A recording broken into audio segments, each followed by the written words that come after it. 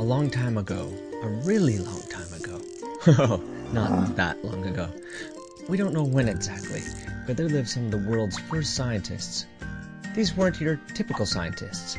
They began by letting their minds get very still, and in this quiet space, they were able to discover amazing things and uncover incredible secrets about the human body, mind, and consciousness. They discovered things like the way you breathe affects the way you feel, and what you eat affects how you think. They noticed to function well, the mind and memory need rest, and that meditation is the deepest rest of all, giving you incredible amounts of energy. They also discovered that experiences can cloud our vision by getting stuck in our minds. Meditation can clear these out, so we hear, see, and feel more clearly. These scientists, or seers, would compare notes and then share their knowledge with the community. As you know, in this time, people didn't have Twitter, Facebook, or phones, so information spread incredibly slow from one person to another and from group to group.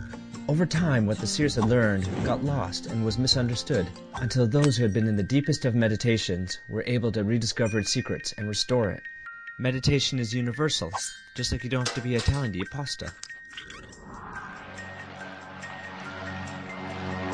Fast forward to the modern day.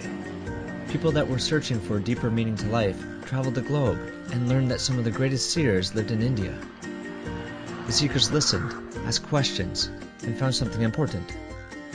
In doing so, they began to share it. What if everyone could have a more peaceful and clear mind? Could we study less and get better grades?